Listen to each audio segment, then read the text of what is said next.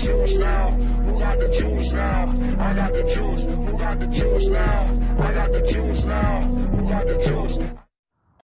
Hey guys, what's going on? It's your boy Juice. Uh, just here to show a quick gaming video, a little tutorial for the newly released Link's Awakening remake on the Nintendo Switch.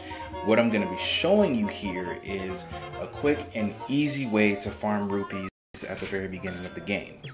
What you're going to want to do is after you get your sword and shield, you're going to want to head straight to the trendy game house. I recommend you go in there with at least 50 rupees because it costs 10 rupees per play, but you can get those rupees very easily by cutting the grass outside of the trendy game house. The first and second time you play the game, in uh, the trendy game house is actually for key items. There are some rupees in here, but this isn't the farming portion yet.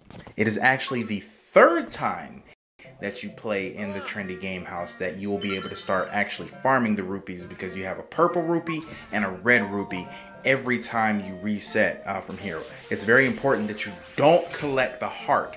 Otherwise, there's going to be a whole new set of uh, things to collect.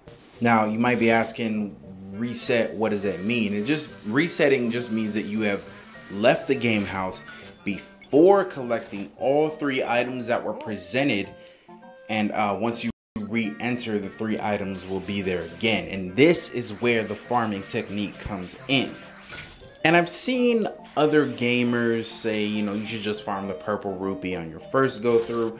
But I find this to be a little bit faster because you know, you're gaining more rupees. It's only 10 more, but at the end of the day, you're still getting more rupees than you would if you had just farmed the uh, purple rupee the first time.